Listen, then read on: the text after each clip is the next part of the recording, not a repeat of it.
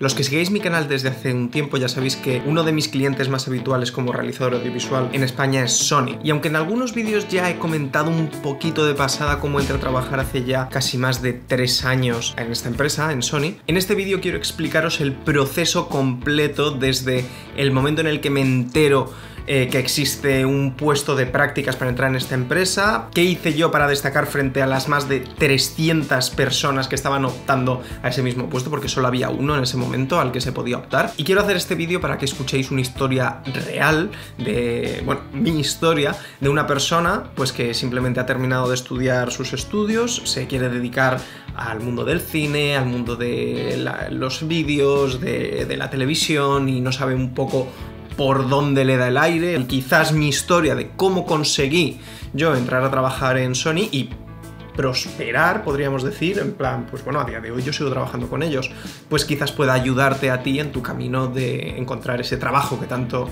que tanto te apetece. Entonces, os pongo en muy breve contexto, ¿vale? Yo estaba estudiando en Madrid un máster de comunicación audiovisual para la era digital, me acuerdo que se llamaba, en la Complutense de Madrid.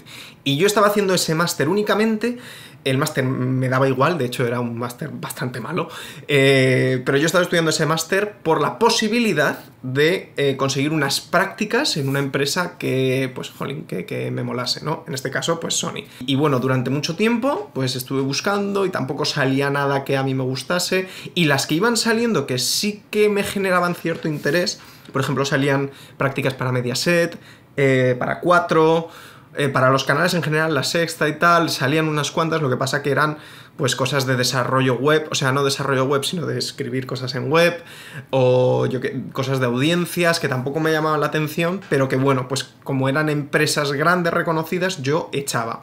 Echaba a través de una plataforma que, que me facilitaba el propio máster, a través de la cual pues se apuntaban todos los alumnos que, que quisiesen optar a ese puesto y eso iba por nota. Esto es importante, ¿vale? Este dato que os voy a dar es importante. ¿Por qué? Porque obviamente eh, los que mejor nota tenían, pues digamos, estaban en primer lugar para que, pues digamos, a lo mejor para si Mediaset ofrecía un puesto de trabajo, eh, solo le iban a mandar, creo que era algo así como 50 currículums. Y si echaban 300 alumnos, pues eran los 50 con mejor nota. Entonces, ¿qué pasaba? Pues que como os digo, como el máster me interesaba más bien poco, yo las notas las yo iba a aprobar, ¿vale? Yo en plan, yo sacaba mis 5, mis 6, si la asignatura me gustaba, sacaba un 9, un 10, pero como solo me gustó una o ninguna asignatura, pues bueno, no, digamos que no tenía muy buena media. Entonces, yo me acuerdo que eché a, a varias y no me llamaban de ninguna. Iban pasando los meses, ¿no? Al final el máster se acaba, iban pasando los meses y no me llamaban de ningún sitio, porque es que mi nota era muy mala. Miento, me llamaron de Mediaset para ofrecerme unas prácticas hiper ultra mega abusivas, que era eh, pasando noticias a la web de Mediaset o algo así del corazón durante ocho meses a tiempo completo, o no, o a lo mejor era a tiempo parcial, sin cobrar un duro. ¿Ocho meses sin cobrar un duro? Bueno, esas sí que me llamaron y evidentemente las rechacé. Evidentemente. y, y de repente, ¿vale? Un día me meto, yo me metía todos los días y sale Sony Pictures Entertainment. Un puesto de trabajo. Prácticas de tres meses para realizar trailers. Y digo, ¿what? O sea, ¿what? Entonces, ¿qué pasa? Evidentemente, me vuelvo loco. Era como la, la, mejor oportunidad que había visto durante todo el año para entrar en un sitio guay. Yo eché tal, no sé qué, pero ¿qué pasa? Pues que de repente, pues echó toda la universidad, todos los del máster, echaron también los del grado de periodismo, echaron, echó todo Dios. Entonces yo sabía con certeza que a mí no me iban a coger. Pero no porque, porque yo luego yo considero que sí que tenía un buen currículum. Yo tenía mi, mi reel, yo te, había hecho algún rodaje, tal y cual, pero por un tema de yo tenía una nota muy baja y, no, es que no iban ni a ver mi currículum en la empresa. Entonces yo dije, a ver, si yo hago esto, mmm, ni de coña me cogen. Con lo cual, lo que yo hice es, pues me meto a internet, busco la, la web de, de Sony, era XN, es el, eh, o sea, era para Sony, para el canal de televisión que es XN España. Me meto a XN España, tal, no sé qué, y encuentro un número de teléfono. Llamo. sí, no sé qué es, es Sony, tal, no sé qué. Yo digo, oye, mira, que me he enterado de unas prácticas que en, en AXN y yo estoy estudiando un máster, sí, sí, eso hay que hacerlo a través de la plataforma.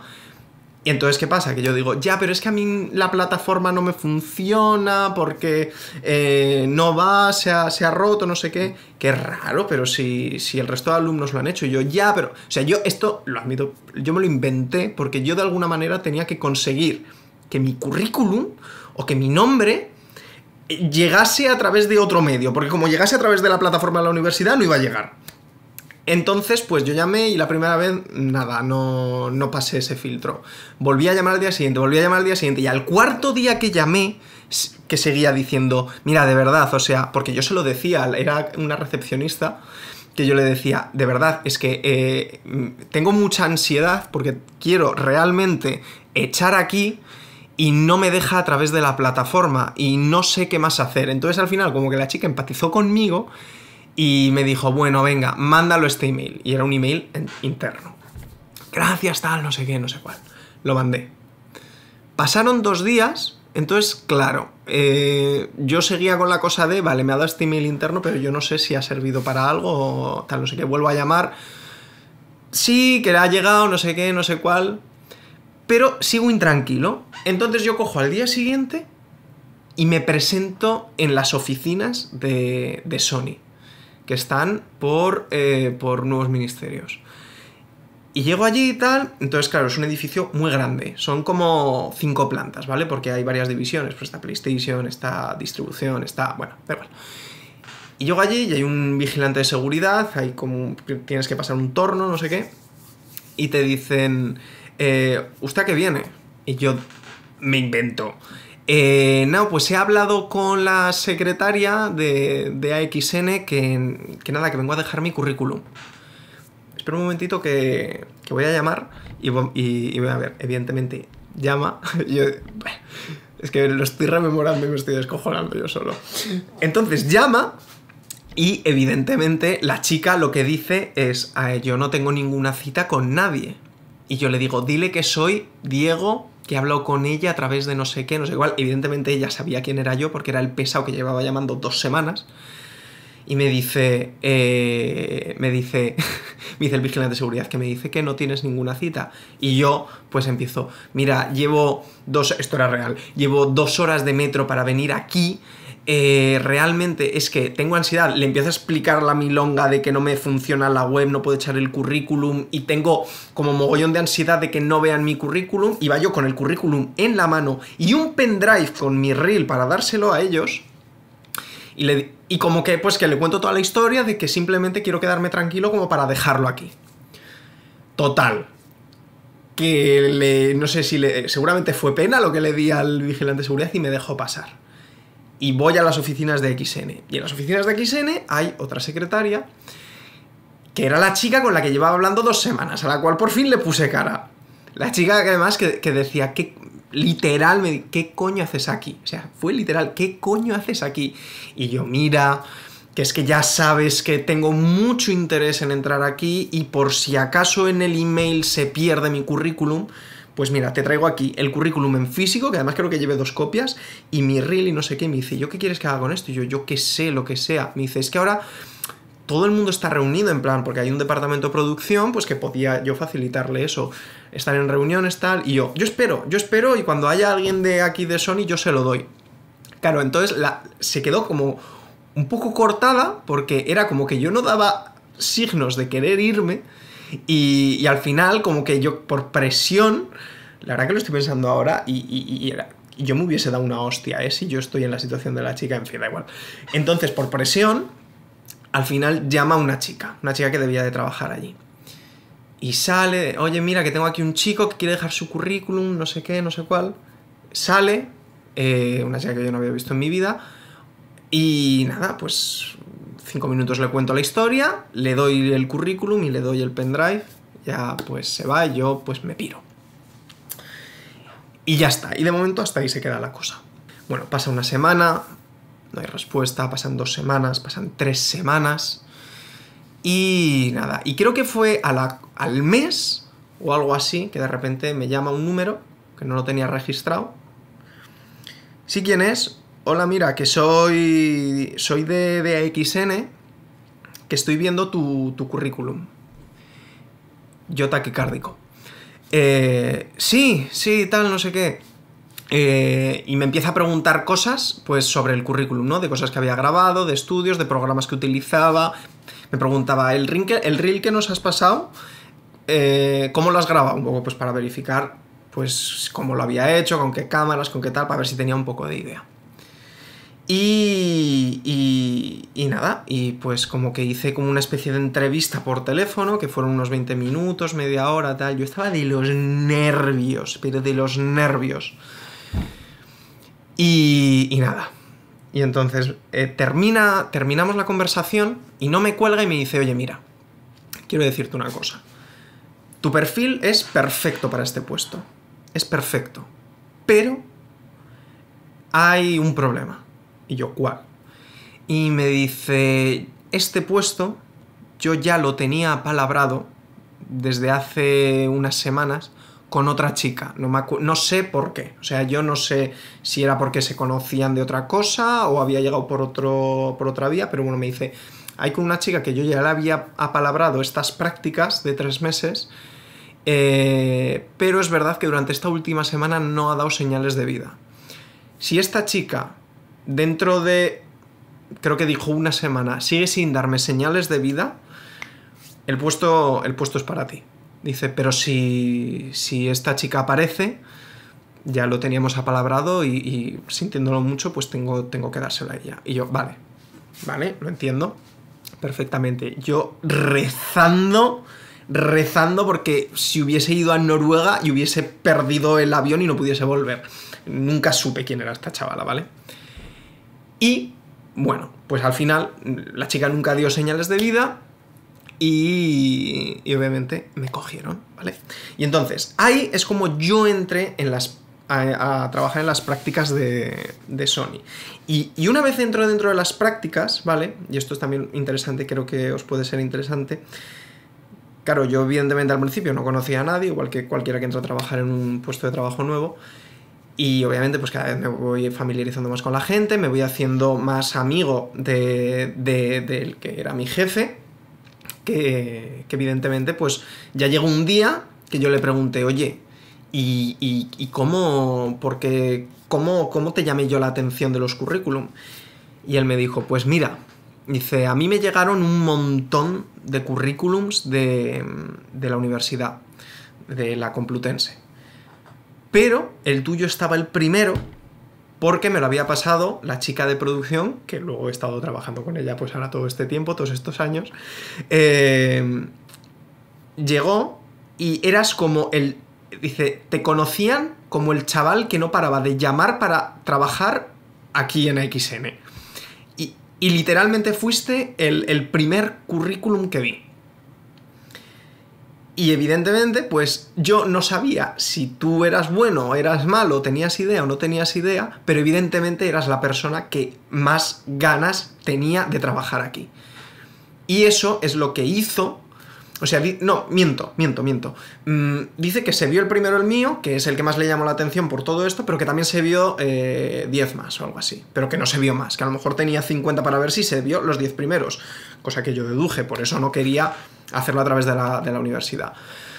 Y entonces la, eh, la, decisión de llamarme a mí fue por esa, fue por esa insistencia, por ese interés, por, por, por, ese interés casi incluso que puede sonar hasta, hasta, hasta, oye, take it easy, ¿no, men? Pero lo que os quiero decir al final, y es un poco yo creo que la historia que, o la, la, con lo que quiero que os quedéis, es que si yo no hubiese hecho todo eso, si yo no me hubiese empeñado por todos los medios en que por lo menos supiesen quién era. O sea, mi interés, aparte de que me cogiesen, era que me vieran. Porque es que si no te ven, no hay ninguna posibilidad de que te cojan en ningún puesto de trabajo. Pero el hecho de, yo haber estado... O sea, aquí literalmente sí que podemos aplicar la expresión de pico pala, pico pala, pico pala. Hizo que destacara frente al resto.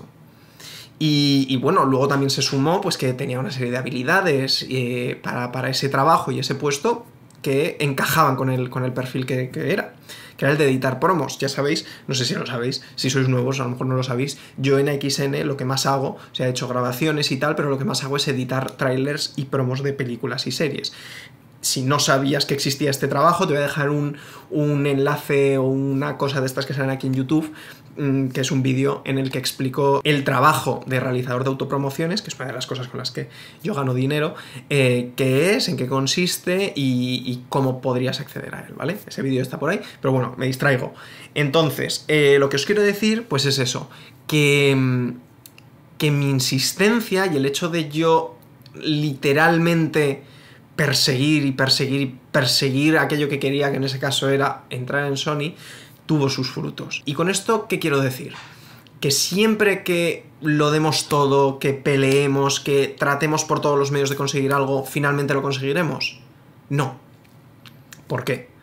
Porque yo esto que hice en Sony lo llevaba haciendo Quizás en Sony fue la vez más bestia, eso sí que es verdad que lo admito, y la vez que, que más insistí. Pero yo llevaba ya muchos meses buscando trabajo sin éxito en distintas productoras, en distintos medios, etcétera, a los cuales yo no mandaba un email. Yo iba y me presentaba en persona con mi currículum. E insistía y hacía todo lo posible por, por hablar con alguien, porque al final eh, eh, para mí era importante el poder darle mi currículum a alguien o que alguien me viese o que me pusiese en cara. Eh, y yo lo hice en, muchos, en muchos sitios. Yo me pegaba de lunes a viernes mis días eran coger el metro, irme de punta a punta en Madrid, a productora tal, a agencia tal, no sé qué, tratando, pues eso, ¿no? De, hacerme ver. Y durante muchos meses la respuesta fue no, no, no, no, no, no, no. Y con Sony conseguí que fuese que sí. Entonces, no siempre te va a salir bien esta vía, pero es verdad que si no lo haces, si no lo pruebas, si no insistes, seguro que no te cogen en ningún lado. Si lo haces, hay una probabilidad de que te cojan. Y cuanto más lo hagas y cuanto mejor lo hagas, más probabilidades habrá. Lo que está claro es que si no lo haces, nunca te cogerán. Y es verdad, y esto también creo que es justo decirlo, que tampoco quiero tirarme todas las flores de no, es que mi insistencia, mi perseverancia, mi interés hizo que tuviese el puesto en Sony, porque hay un factor de azar, de suerte, inevitable en prácticamente todas las decisiones de la vida y en esta historia también, que no podemos controlar y que a veces va a jugar a nuestro favor y a veces en nuestra contra. En este caso yo, digamos, lo tenía todo hecho, salvo por el detalle ese que me dijo de, oye, hay otra chica que ya tenía este puesto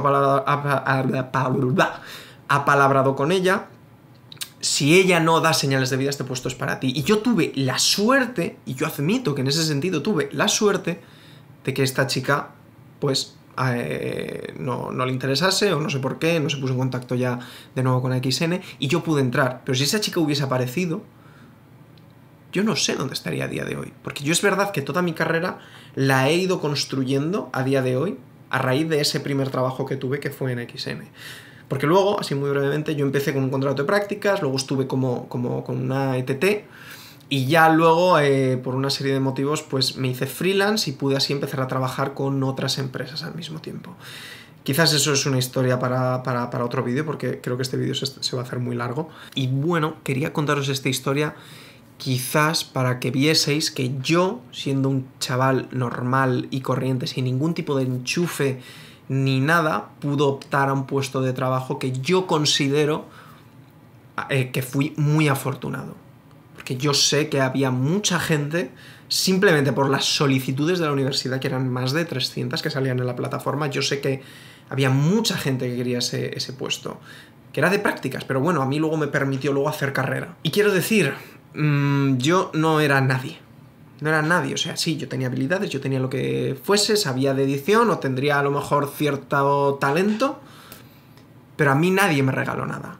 Con lo cual, pues, si yo pude tú podrás. Pues nada, espero que os haya entretenido, os sirva de algo esta anécdota, esta historia mía de cómo entré a trabajar en en Sony España. Y nada, dejadme en los comentarios eh, cualquier duda que tengáis al respecto, si queréis que cuente alguna otra anécdota. Yo creo que este tipo de historias son interesantes pues para un poco ver el camino de otras personas y un poco poder tomar decisiones en función de experiencias de otra gente, que, que también se trata de abrir paso en este mundo de visual, ¿no? que somos unos cuantos. Así que nada, like, suscríbete si te ha gustado este vídeo y un beso muy grande. Nos vemos en el próximo vídeo, como siempre. Hasta luego.